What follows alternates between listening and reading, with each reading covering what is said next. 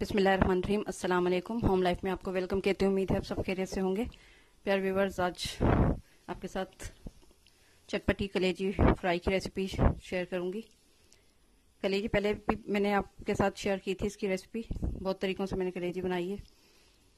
और इसके साथ ही अवतार की भी थोड़ी सी तैयारी शेयर करूँगी आपके साथ।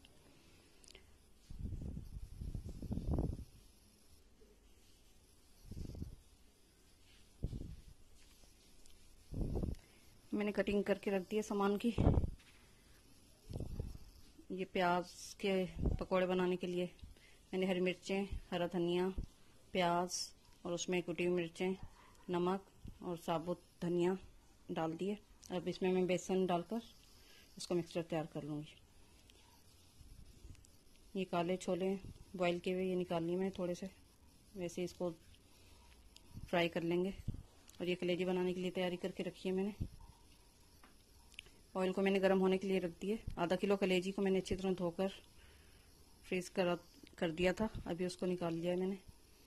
पहले हम एक बड़े साइज़ की ये प्याज है, उसमें चार पाँच कड़ी पत्ते और थोड़ा सा जीरा। ये डालकर हम प्याज को लाइट ब्राउन होने तक फ्राई करेंगे।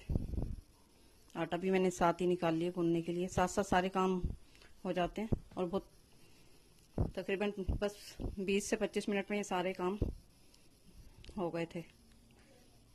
सालन भी साथ साथ बन गया था कलेजी का और ये देखें, प्याज हल्की सी ब्राउन हो गई थी तो मैंने इसमें कलेजी और लहसुन अदरक का पेस्ट डाल दिया था। क्योंकि ये अभी जमी हुई है कलेजी, ये अभी भाप में खुल जाएगी सब। इसको अच्छी तरह फ्राई कर लें। कलेजी को लहसुन अदरक के साथ अच्छी तरह फ्राई कर लें।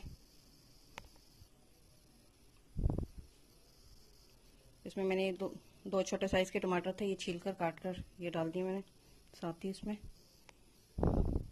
और ये एक चम्मच पिसी हुई सुरख मिर्च, एक चम्मच कुटी हुई सुरख मिर्च, और धनिया पाउडर है डेढ़ चम्मच, एक चम्मच नमक, और आधा चम्मच हल्दी। ये सब मसाले डाल दिए मैंने।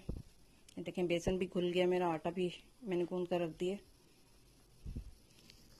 एक काम के साथ साथ सारे काम हो जाते हैं। आप सालन भी चढ़ा दें और आटा वगैरह भी साथ ही गूंद लें शरबत की चीनी भी मैंने भिगो दी थी।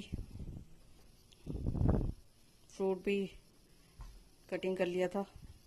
इस दौरान ही हमारे ये कलेजी भी तैयार हो गई थी। गर्मी इतनी होती है, बहुत ज़्यादा टाइम किचन में नहीं गुजारा जाता तो आप सारे काम एक साथ जल्दी जल्दी निपटा सकते हैं। ये मैंने अब इसमें एक छोटा गिलास पानी का डालकर पकने के लिए इसको रख दिया। कलेजी अच्छी तरह गल जाएगी तो फिर हम इसको अच्छी तरह फ्राई करेंगे। ये कलेजी गल गई और पानी भी खुश्क हो गया। ऑयल इसके ऊपर आ गया, अच्छी तरह इसको भून लें आप।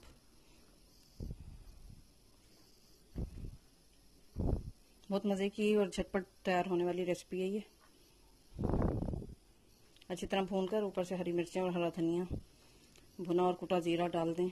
बहुत अच्छा टेस्ट आता है उससे, कलेजी में। कसूरी मेथी ख़त्म हो गई थी, वो मैंने नहीं डाली आज, इसलिए मैंने हरा धनिया डाल दिया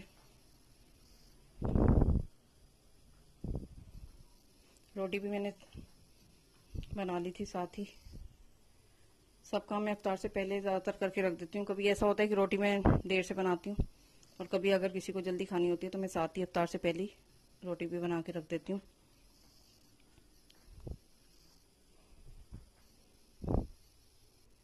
इस तरह बहुत कम टाइम में हम अपने काम निपटा लेते हैं।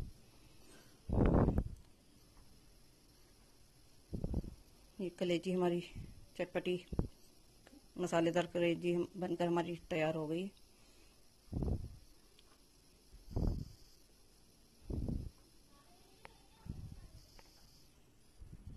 उम्मीद है आज की छोटी सी वीडियो आपको पसंद आई होगी। पसंद आई तो लाइक करें शेयर करें कमेंट्स करें और मेरे चैनल को सब्सक्राइब करें। मुझे अपनी दुआ में याद रखिएगा। अल्लाह हाफिज़।